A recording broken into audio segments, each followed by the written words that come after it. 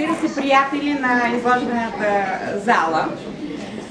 По традиция в навечерието на рождения си ден Карло си подарява изложба, самостоятелна изложба, за любителите на числата и на статистиката.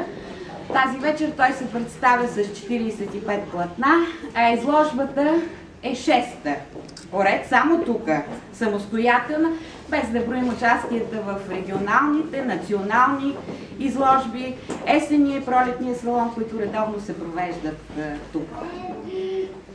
Най-новите картини ни представя Карло, най-напред пред вас, вярната публика, създадени заедно с грижите и радостта от отглеждането на внуците, така очаквани и дълго лелеяни.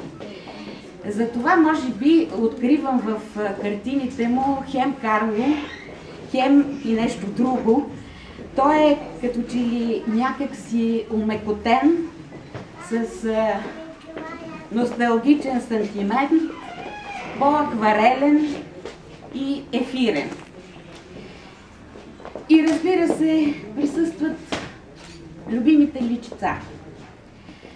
Не, че липсват пожарите на планинските му залези, мъглите на голямата река, спомен от детството,